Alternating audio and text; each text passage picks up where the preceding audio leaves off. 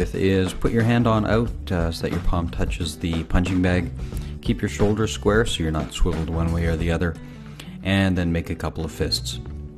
Just like with the air punches, then drop that first fist out of the way and let that back fist fly. Now, of course, we want it to go in a straight, uh, straight line, just like an arrow. And what we're going to do is we're going to teach ourselves how to release the punch using this drill. So the punching bag is essentially going to become like a catcher's mitt for our punch. So we're not worried about hitting it very hard. We're not worried about anything except technique and releasing the punch.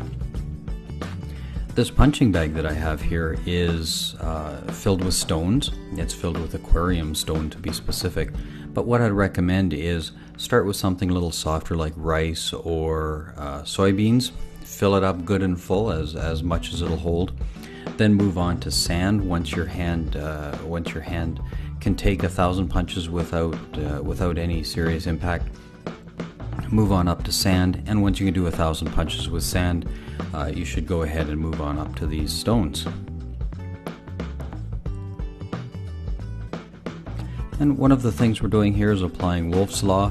What that says is essentially the bone density is going to improve as we uh, continue to condition our hands Let's move on now to the follow along section.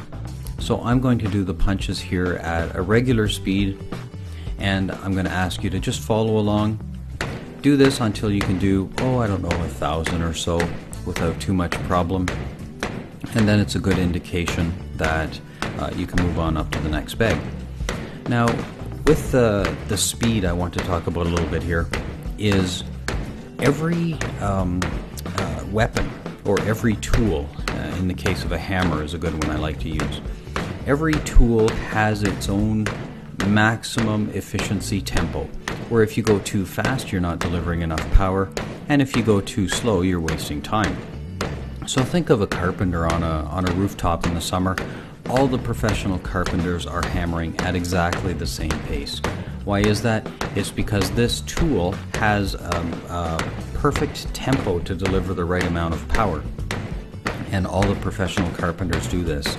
What I'm showing here in this demonstration is the tempo for this weapon that we call a punch.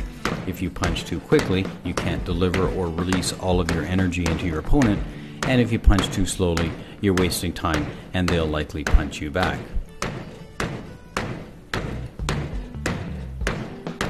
And just keep in mind that if you see any redness or any other type of injury, uh, you should really stop until that gets uh, completely healed up.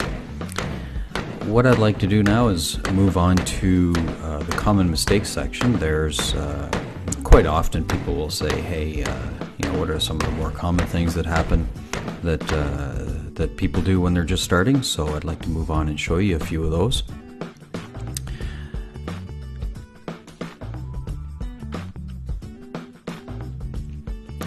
Again, we're going to measure, and here it comes. We're going to have a little bit of fun with this. The first one is standing too close to the bag, uh, what we call chokyu. So your your punch is a little bit jammed up and can't deliver all the power that you want. Naturally, the opposite of that. Uh, you know, if you're standing too far away from the bag, uh, you're going to have some trouble as well. You won't be able to deliver the force you need for the single knockout punch. Don't uh, chop your punch clearly I'm exaggerating a little bit here, but uh, gotta have a little bit of fun. No back fisting, so keep those elbows down and drive the fist forward with the back fist.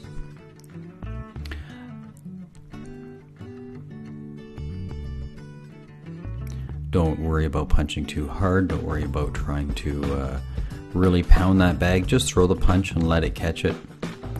Don't lean forward, stay in your stance, and when you connect with the punch, you should feel it in your heels, so don't lean forward. Don't be too aggressive with that bag, don't be just trying to punch it any old way you can. Make sure you focus on your technique and keep things um, and keep things clean don't punch too softly. We do want to throw a baseball and have it land in that glove, so don't uh, punch too softly.